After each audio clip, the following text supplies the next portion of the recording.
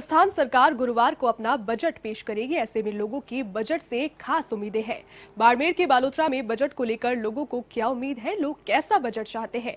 Budget में क्या क्या होना चाहिए? इसी पर बालोतरा के युवाओं से बातचीत की हमारे संवाददाता सवाई सेन ने।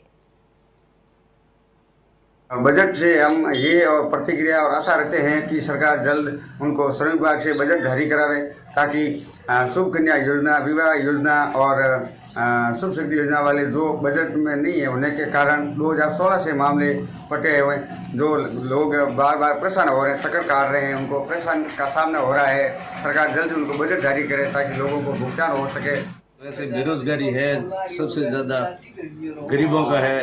पचपदरा के अंदर ये जो रिफाइनरी लगी है इसमें रोज़गार के लिए है युवाओं को और स्थानीय लोगों को ज़्यादा रोज़गार मिलेगा। नमक है नमक के खाने चाहिए उसके प्रति गवर्नमेंट बजट में एमएलए साहब ने भी डिमांड रखी थी।